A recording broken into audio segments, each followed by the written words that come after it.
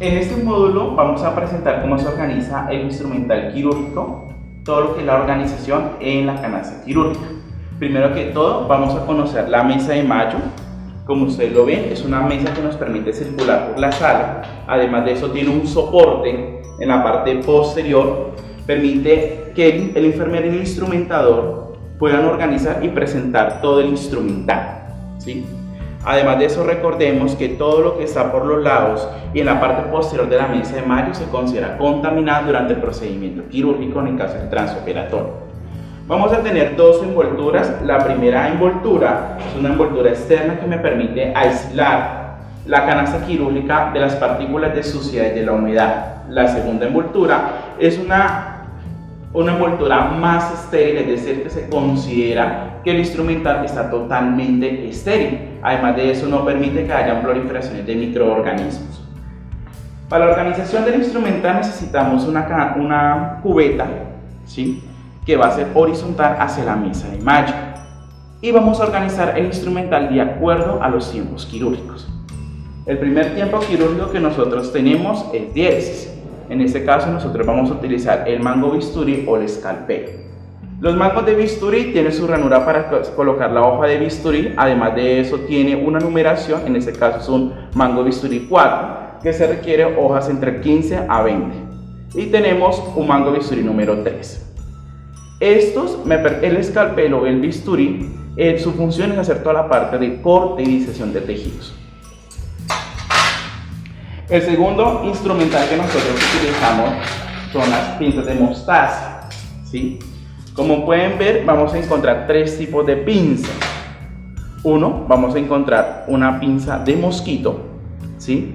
La pinza de mosquito, sea porque sus ranuras llegan hasta la caja de la articulación. Además de eso, ellas tienen un clan que me permite a mí abrir y cerrar. Por eso se consideran hemostáticas. Esta es una pinza de mosquito recta, como también podemos vamos a tener una pinza de mosquito curva, que más o menos es la circunferencia de esta.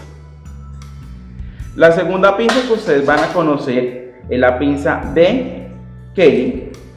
Esto es una pinza de Kelly que normalmente sus ranuras va a ser tercio medio de la, de la articulación, ¿sí?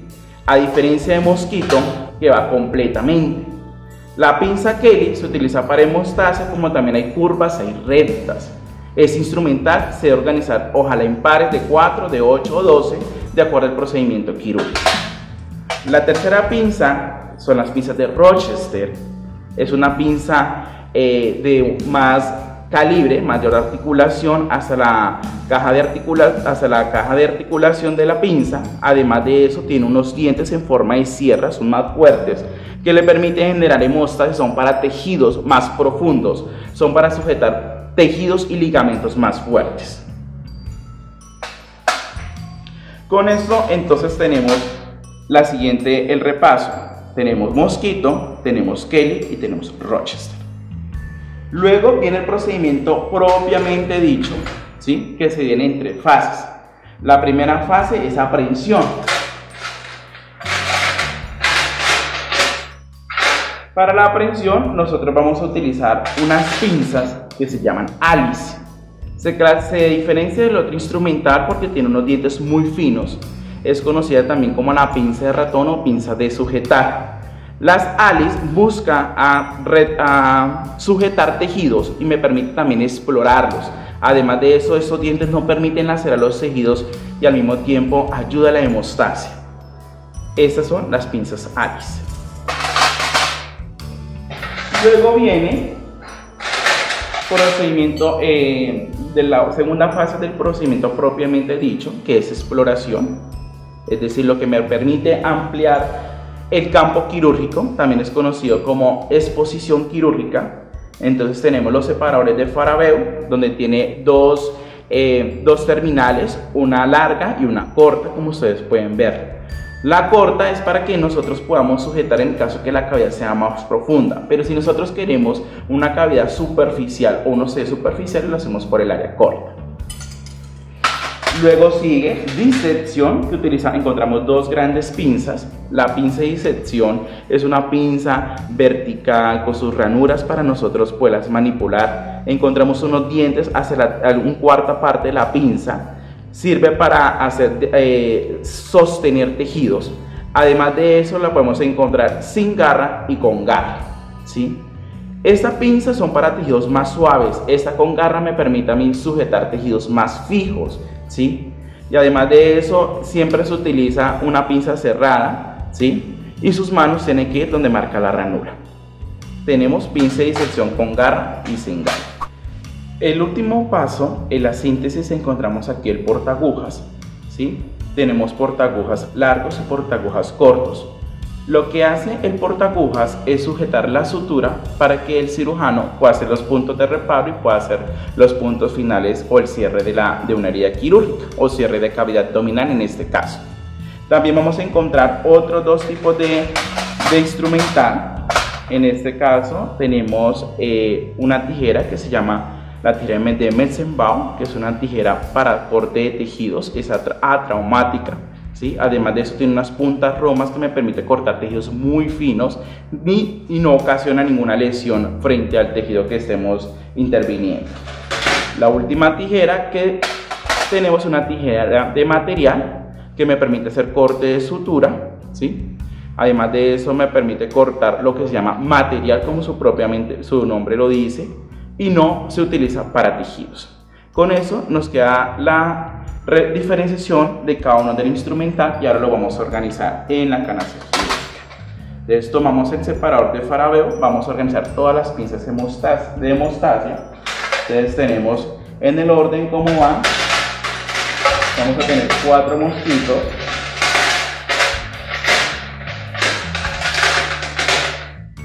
Entonces tenemos una, dos, tres y cuatro.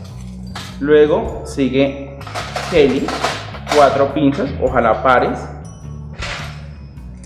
Dos, tres, cuatro. Terminamos con Rochester. Una, dos, tres y cuatro. Es decir, tenemos el separador de parabeo con las pinzas de hemostasia. Y lo vamos organizando en nuestra canasta.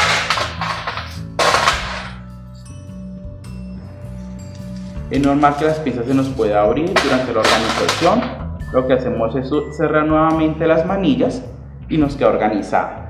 El segundo son los de aprehensión. Entonces vamos a empezar con Alice, así como se organizó y se explicó la, eh, la, apertura del instrumental, así mismo se va a organizar. Entonces tenemos las de aprehensión, 4 de aprehensión, va nuestras pinzas de hemostasia, entonces tenemos porta agujas, entonces tomamos las manillas, en el caso que se nos abre, tomamos las manillas, hacemos el clamp o el clip. Un portagujas largo, un portagujas corto, la tijera de Messenbaum y la tijera de material. Y tenemos nuestra segunda organización de pinzas de disección con o sin garra. La podemos colocar de esta forma para que nos quede fácil en el momento que hacemos la apertura. Los mangos de bisturí. Y por último, las pinzas de campo.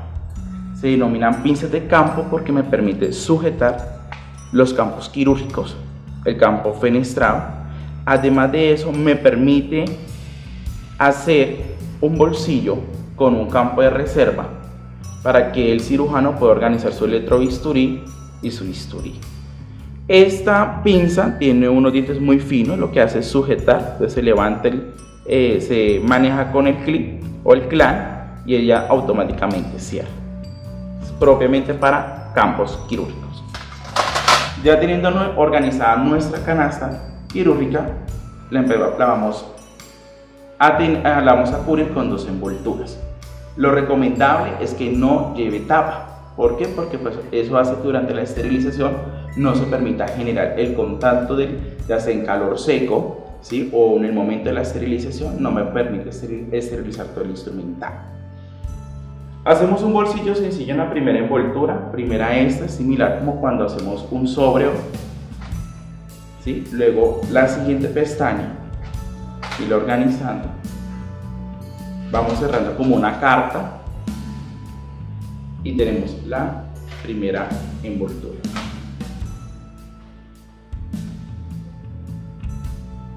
que nos quede organizadito para que nos quede fácil para abrir. Volvemos nuevamente, el mismo ejercicio, a esta le hacemos una pestaña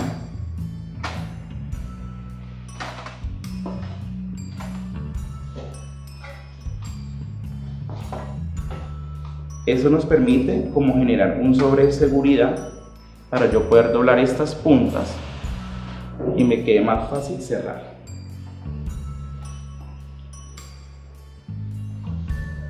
Venimos, como tenemos dos extremos acá, hacemos un pequeño doblez que me permita a mí este sobre que en el momento que yo pueda manipular el instrumental, yo pueda abrir o hacer apertura fácilmente sin contaminar. En este momento ya me queda organizada la bandeja, me queda organizado el paquete quirúrgico, se procede para la esterilización, luego la esterilización será, se pueden utilizar para cualquier procedimiento quirúrgico.